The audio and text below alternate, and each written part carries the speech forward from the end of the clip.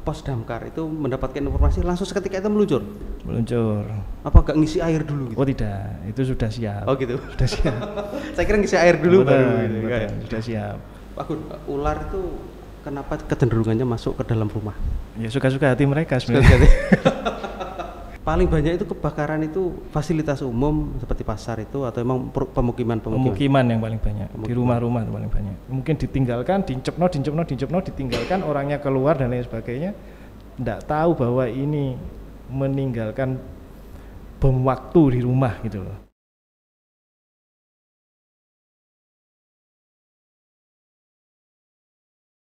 Assalamualaikum warahmatullahi wabarakatuh. Sahabat Radar Bojonegoro Eh, Kembali lagi di channel podcastnya Jawa Pos Radar Bojonegoro eh, Sebuah channel, eh, sebuah program yang akan membahas hal-hal yang sedang hangat, sedang menarik ya, Dan menarik untuk diperbincangkan hari ini. Eh, Tema kita kali ini adalah tentang eh, safety kebakaran, ke- kebencanaan ya Kebakaran eh, dan lain-lainnya. Ya sudah hadir di, bersama saya eh, narasumber dari eh, Dinas Pemadam Kebakaran, yaitu Kepala Dinas Pemadam Kebakaran Bapak Ahmad Gunawan. Selamat siang Pak Gun. Selamat siang, Pak Selamat siang. Oke, Pak Gun ini pertama kalinya hadir di podcastnya Radar Bojonegoro Pak Gun ya. Pertama kali ini pertama kali. Oke, Pak Gun bisa dijelaskan Pak Gun tupoksi Dinas Pemadam Kebakaran atau Dinas Damkar ini Pak. Oke, eh, terima kasih atas waktu kesempatannya. Jadi langsung saja Mas Kasim. Ha-ha. Eh, dinas damkar ya, terkenalnya dinas Yes, damkar. Damkar. ah. Eh, nam- nomenklaturnya itu lengkapnya dinas pemadam kebakaran dan penyelamatan. Oh iya. Ya, jadi kalau dilihat dari tupoksi ada tiga tugas fungsi utama di dinas Hmm, damkar. Yang pertama adalah untuk pemadaman kebakaran, Hmm. kemudian yang kedua untuk pencegahan, Hmm. pencegahan, pengendalian dan pemberdayaan. Kita Hmm. sebutnya seringnya pencegahan saja. Pencegahan. ah. Kemudian yang ketiga adalah untuk penyelamatan, penyelamatan yang non kebakaran, Rescue gitu. rescue. Jadi kalau eh, nomenklatur internasional kan kita kenalnya fire and rescue. Oh gitu. Kalau di nomenklatur kita pemadaman dan, penyelamatan. Oke. Oh gitu. Oke. Pak Gun. Eh, bicara tentang eh, penyelamatan, apa aja nih penyelamatan yang bis- eh, yang dilakukan? Apa menyelamatkan orang atau menyelamatkan apa apa aja gitu, Pak? Oke, jadi pada prinsipnya memang yang harus kita selamatkan pertama itu adalah jiwa, gitu. Oh, jiwa gitu. manusia. Manusia. Nah, tapi eh, sekupnya sebenarnya kalau mau kita breakdown, mau kita uraikan sebenarnya banyak. Tidak hanya Hmm. manusia saja, Mm-mm. jadi termasuk hewan. Oh gitu. Nah, hewan itu bisa juga hewannya yang kita selamatkan Mm-mm. atau hewan yang kita selamatkan dalam rangka untuk kepentingan yang lebih besar untuk menyelamatkan manusianya. Mm-mm.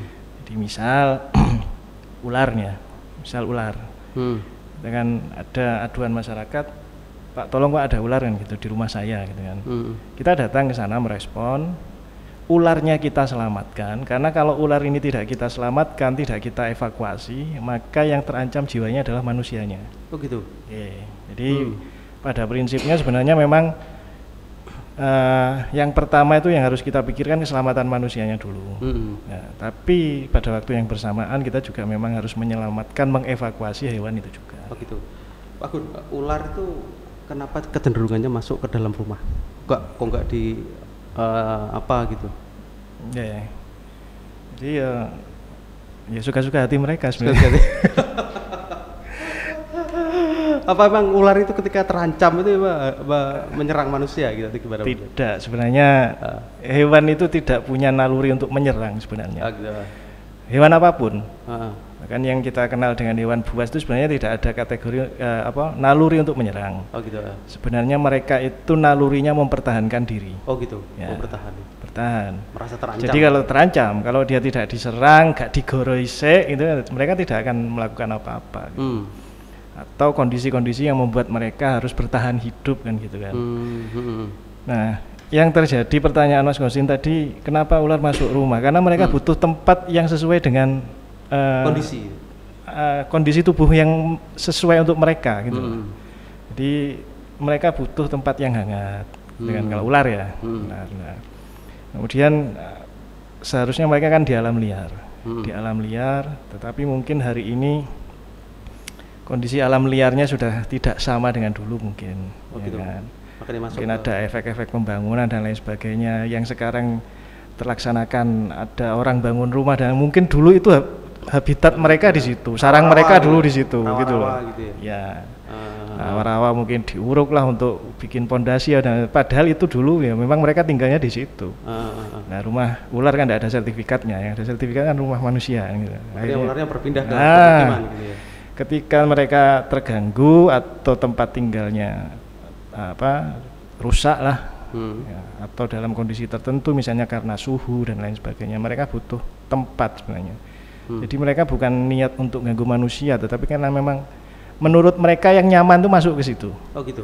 itu naluri saja sebenarnya hewan kan Hmm. jadi ya itu tidak bisa dihindari Itu berbahaya sekali sebenarnya. Pak Gun, ular itu eh, ditangkap oleh petugas damkar. oke Ah, lalu diapakan? Ya, yang kita pastikan adalah mereka kita pertahankan untuk tetap hidup, hak mereka untuk tetap hidup. Ah, ah. Jadi kita amankan, kita evakuasi. Hmm. Setelah itu kita lihat klasifikasinya. Hewan ini, ular ini, kalau Hmm. spesifik ular ya, ular ini apakah termasuk ular yang dilindungi atau bukan? Oh gitu. ah. Nah, kalau termasuk kategori ular yang dilindungi, kita akan kontak BKSDA, Badan Konservasi Sumber Daya Alam. Hmm. Kebetulan di Bojonegoro kantornya ada di Banjarsari itu. Ah. Jadi mereka nanti kita serahkan ke sana. Hmm. Untuk mereka akan proses lebih lanjut untuk konservasinya atau untuk kelangsungan hidupnya lebih lanjut gitu. Kalau ular yang umum, Kalau yang secara umum biasanya kita akan rilis di hutan biasanya. uh, dilepaskan lagi. Kita lepaskan lagi. Oh, nggak berbahaya itu, Bang? Enggak, enggak. Insya Allah tidak berbahaya. Kita Ah. punya lokasi-lokasi tertentu yang memang jauh dari pemukiman.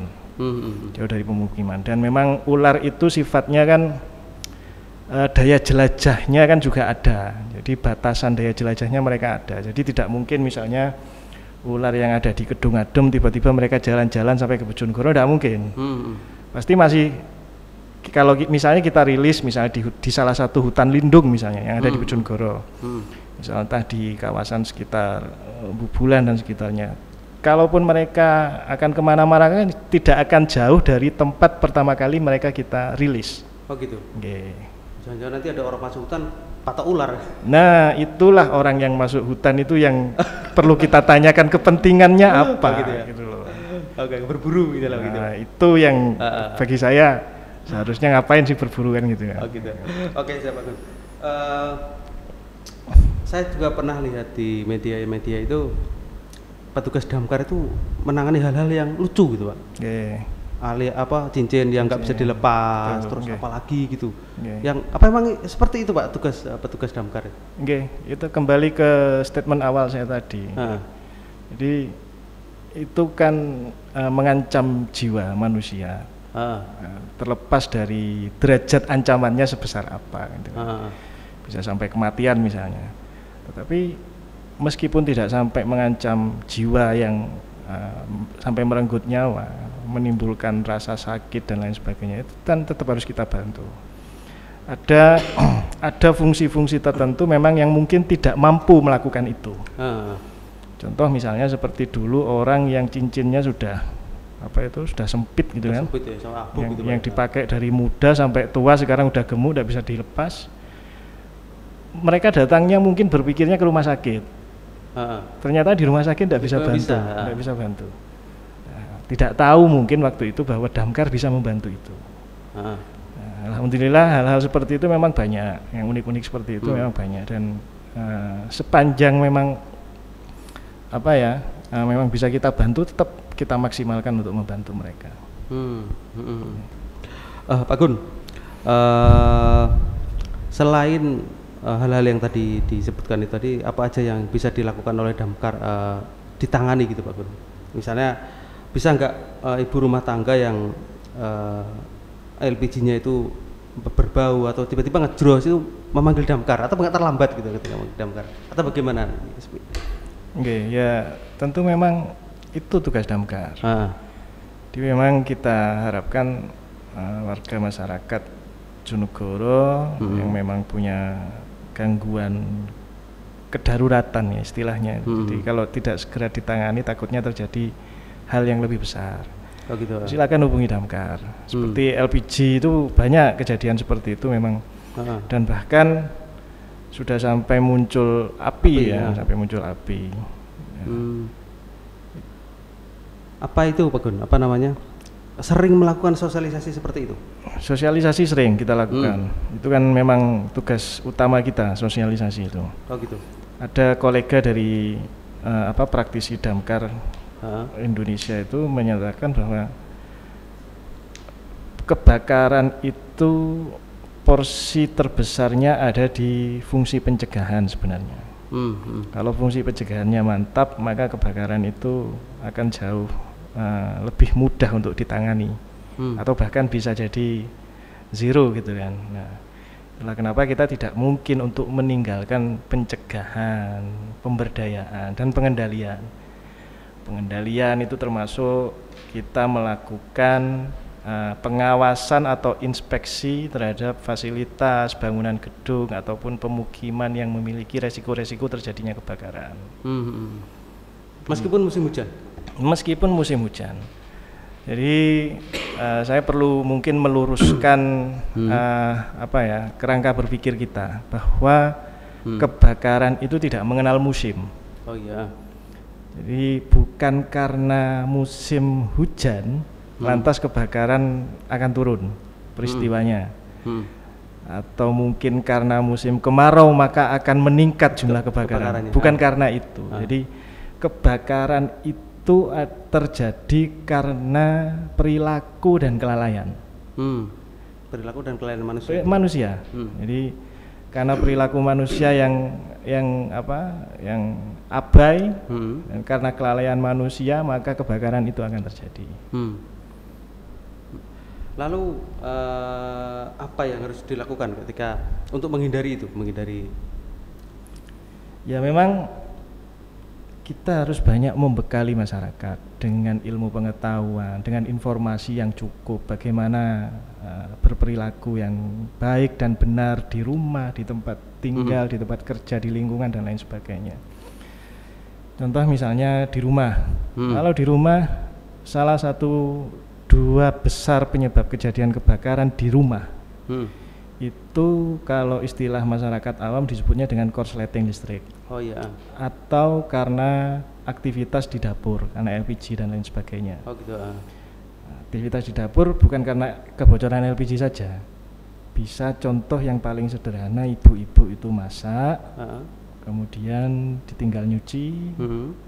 Akhirnya Kem- kemudian setrika baju, Oh. kemudian nyapu, kemudian beres-beres yang lain, lupa bahwa dia punya masakan di dapur. Mm-mm. Tahu-tahu gosong, Gosong. Habis air kuahnya habis, membakar sampai sat, bakar pancinya, Hmm. gosong, membesar. Hmm. Jadi itu kelalaian murni itu. Itu sering ya terjadi. Kadang nyalain kompor tinggal ke pasar. Tinggal ke Wah. pasar pernah beberapa kali terjadi seperti itu. Bahkan Ah. warung yang di depan rumah sakit itu kasusnya juga seperti itu. Kejadian beberapa awal tahun kemarin, Hmm. awal tahun lalu, awal tahun ini Tahu itu ya. Itu terjadi karena masa persiapan untuk dagangan Ah. siang harinya belanja dulu. Oh. Lupa bahwa Kompornya nyala. nyala gitu. Oh. Ini memang menjadi kasus yang eh, kok sering terulang waktu Pak Gun ya. Nggih. Eh, Nggih. Bagaimana Pak cara eh, orang-orang atau mungkin eh, ibu-ibu atau mungkin bapak-bapak ya yang menyalakan kompor itu agar mereka itu ingat kan selalu ingat gitu. Kadang-kadang kan itu, itu tadi sudah nyalain kompor beres-beres tiba-tiba ada telepon. Ya, ya sebenarnya kalau kita kan memang tidak mungkin untuk merekayasa kemampuan daya ingat kita. Gitu. Ah, ah, ah. Sebenarnya kalau ah, apa ya, yang pak teknologi sekarang itu kan sudah ada atau kompor-kompor yang ada timernya itu. ya. Ah, ah. Nah, apalagi aktivitas di dapur. Saya sarankan sebenarnya itu sebenarnya. Oh gitu. Saya sarankan ada itu. Oke.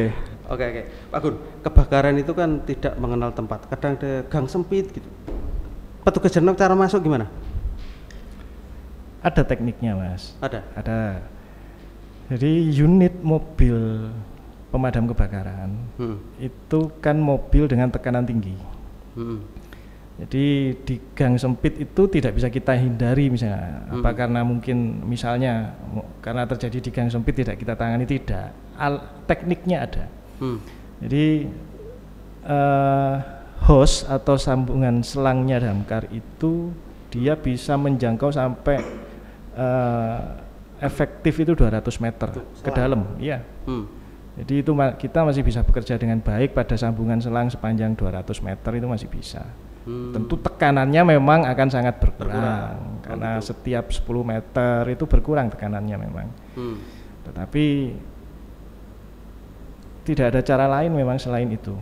Tetapi memang Hmm. contoh di pemukiman itu menurut eh, peraturan Menteri PU Hmm. itu memang seharusnya dilengkapi dengan sistem proteksi. Oh gitu. Kalau di pemukiman itu minimal sudah harus terpasang apar-apar. Oh gitu. Misalnya nih satu RT ada dua atau tiga unit apar. Jadi kalau ada kejadian api terjadi kebakaran, ada kondisi masih bisa ditangani secara awal, Tangani masyarakat dulu. bisa. Nah, Hmm. Tapi tentu masyarakat juga harus terlatih untuk menggunakan itu. Salah semprot gitu ya. Enggak, jadi cara menggunakannya juga harus tahu. Cara Hmm. menyemprotkannya juga bagaimana harus tahu. Dan itu sebenarnya sangat mudah dipelajari. Siapa pun bisa mempelajari itu. Hmm. Penanganan dini gitu Pak. Iya. Dan Damkar siap untuk melakukan itu. Kemudian tidak kalah pentingnya juga pencegahan. Hmm. Makanya contoh misalnya seperti sambungan listrik di rumah. Hmm. Instalasi listrik di rumah, jaringan listrik di rumah menurut standar yang apa kita gunakan dari PLN itu seharusnya minimal lima tahun sekali itu harus dicek ulang kondisi gitu. sambungannya. Oh lima tahun sekali. Lima tahun sekali seharusnya. Jadi supaya kita tahu apakah ada kerusakan atau tidak, karena kerusakan peralatan komponen listrik itu juga menjadi pemicu terjadinya kebakaran. Hmm. Hmm, hmm, hmm. Ya, Memang kita harus melakukan itu mau tidak mau. Selain memang eh, peralatan yang digunakan, perangkat yang digunakan dalam pemasangan jaringan itu memang harus terstandar nasional Indonesia. Makanya jangan jangan pernah sekali-sekali memanfaatkan atau menggunakan atau membeli barang-barang yang tidak SNI. Tidak itu KW gitu. iya, itu beresiko untuk keselamatan diri kita. Hmm. Pak Gun, ketika ada kebakaran itu eh, pos damkar itu mendapatkan informasi langsung seketika itu meluncur. Meluncur. Apa nggak ngisi air dulu gitu? Oh tidak, itu sudah siap. Oh gitu. Sudah siap. Saya kira ngisi air dulu Betul, baru gitu, betul, kan. sudah siap. Jadi di semua pos damkar itu ada instalasi pengisi airnya. Jadi Berarti truk yang terparkir itu sudah penuh. dalam kondisi sudah siap berangkat. Oh gitu. Dalam kondisi sudah siap berangkat. Oke. Eh, berapa lama Pak Gun kira-kira eh, respon dari eh, untuk itu? Kita punya standar namanya respon time itu Nah. 15 menit. Oh, gitu. Sejak eh, kita menerima aduan lewat telepon, Hmm. kita tutup telepon sejak itu timernya jalan. 15 menit sejak telepon itu kita tutup, Hah. 15 menit kemudian kita sudah harus nyampe di lokasi. Itu. Standar kita seperti itu. Oke, oke. Pak Gun, kadang itu kalau truk damkar lewat itu orang pada ketakutan. Wih, wih, wah itu. Meningkir semua gitu. Ya, ya, saya pikir itu bukan takut mungkin orang. Itu mungkin Heeh. mereka tahu prioritas itu. Oh, kan. gitu ya. Ya, tahu lah prioritas di Undang-Undang Lalu Lintas kan damkar udah bunyi duluan gitu. prioritas utama. Heeh. Di eh, kebakaran itu efek kerugiannya paling besar, Hmm. paling besar. Jadi memang bagaimanapun, saya pikir masyarakat sudah paham lah untuk memprioritaskan itu. Oke, Oke Pak Gun, Eh, di Bojonegoro ini selama jenengan ketahui selama mungkin 3-4 tahun ini eh, pernah nggak ada kebakaran yang cukup besar? Atau emang selama ini kebakarannya ya normal-normal aja bakar, eh, nggak, maksudnya nggak sampai miliaran gitu kerugiannya? Yang besar pasar pernah Pasar, di pernah. Poh Baru. Oh gitu. Oh iya, waktu itu ya. Nggih, pasar Poh Baru itu lumayan. Hmm. Kemudian dua kali pasarnya, satu di Sido Bandung Balen Oh iya, rata-rata penyebabnya apa tuh Pak? itu kelihatannya kalau yang di pasar itu ada aktivitas perdapuran itu Oh gitu. ditinggal, Ah. ditinggal dan ya lupa memang. terkait hal seperti itu lalu gimana Bu? Artinya eh, si orang lala ini tadi eh, terkena eh, mungkin terkena pidana atau apa gitu. Ya kalau kalau dari sisi pidana tentu saya pikir bisa sih kelalaian kan eh, yang bisa menimbulkan kerugian terhadap orang lain kan juga bisa ada Hmm. ada pidananya. Tapi tentu kita percayakan saja sama aparat penegak hukum terkait itu. Hmm. Karena di setiap kejadian kebakaran aparat penegak hukum juga hadir untuk melakukan Olah apa, TKP gitu ya? olah TKP, penyelidikan dan lain sebagainya. Mereka mungkin punya penilaian atas itu. Mm-mm. Paling banyak itu kebakaran itu fasilitas umum seperti pasar itu atau emang pemukiman pemukiman? Pemukiman yang paling banyak di Pemukiman. rumah-rumah itu paling banyak. Ya. Di Bojonegoro ini lebih banyak konsleting atau kompor? Lebih banyak konsleting saya pikir. Konsleting. Ya. Hmm, berarti ini eh, warga Bojonegoro ini harus banyak itu pak ya, banyak eh, mengganti itu tadi ya, jenengan tadi ya, sambungan-sambungan listriknya itu kayaknya. Tapi itu bukan faktor utama. Oh, bukan saya. faktor utama. Bukan faktor utama. Ah. Jadi eh, peralatan listrik itu juga ada cara menggunakannya secara benar, ah. ya kan. Nah kadang-kadang masyarakat itu juga asal juga gitu loh. Hmm. Contoh misalnya ada colokan listrik tambahan gitu kan. Hmm. Ada colokan listrik tambahan isinya lima Hmm. lima lubang. Hmm. Padahal kapasitasnya tidak mampu untuk menangani peralatan yang semuanya ditancapkan di situ. Oh iya. Itu dipaksakan masuk ke situ.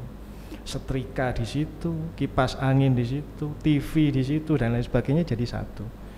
Efeknya akan muncul panas. Nah, teori segitiga api itu kan ada tiga, tiga faktor utama penyebab terjadinya api. Hmm. Yang satu oksigennya, yang kedua panas, Hmm. yang ketiga materialnya. Kalau tiganya ini terpenuhi maka terjadilah api. Hmm.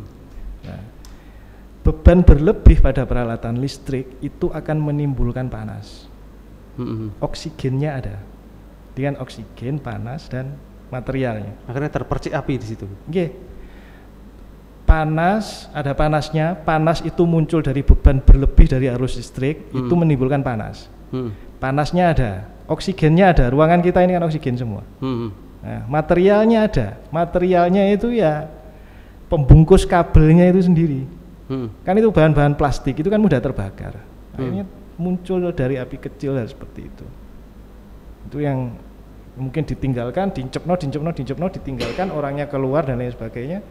Tidak tahu bahwa ini meninggalkan bom waktu di rumah gitu loh. Hmm, panas Ma- akhirnya. Iya. Panas, makanya saran saya, Mas Qasim, meninggalkan rumah itu matikan aja semua peralatan itu. listrikan itu. Listrik cabut semuanya. Jadi bahkan jenengan misalnya kan sering kali kita itu nancapkan cas HP, Oh yes, iya, ketinggalan. yes pokoknya gak pernah lepas itu cas HP di situ aja. Mau ngecas ya tinggal tinggal gini iya, aja kan. iya. Itu bahaya sih Pak. Bahaya. Oh. Sebaiknya dicabut saja. Sebaiknya dicabut. Hmm. Oke oke oke. Apa damkar ini juga menangani kebakaran hutan, Pak? Kebakaran hutan dan lahan itu karhutla itu merupakan domain bencana sebenarnya ini Oh, bukan gitu. kebakaran Oh, tetapi eh, yang memiliki perangkat atau sumber daya untuk melakukan pemadaman atas kebakaran itu memang dinas damkar Oh iya. jadi memang ada MOU perjanjian tertulis antara yang menangani bencana dengan kami memang Hmm. Kami untuk membackup kebencanaan kebakaran lahan dan ya. hutan itu memang sering kali kami yang melakukan pemadaman Hmm. Karena musim kemarau itu kadang yang kebakar tidak hanya rumah, tapi juga hutan-hutan gitu. hutan lahan nggih. Hmm, oke oke. Oke Pak Gun, terima kasih banyak eh, obrolannya hari ini. Terima kasih Sama-sama. banyak sudah menyempatkan diri itu hadir di Iya. podcastnya Radar Bojonegoro. Demikian sahabat Radar Bojonegoro, perbincangan kita dengan Pak Kepala Damkar Pak Ahmad Gunawan. Semoga apa yang kita diskusikan hari ini, kita bahas hari ini menjadikan informasi dan menjadikan inspirasi untuk kita semua. Sampai jumpa di edisi berikutnya. Assalamualaikum warahmatullahi wabarakatuh. Waalaikumsalam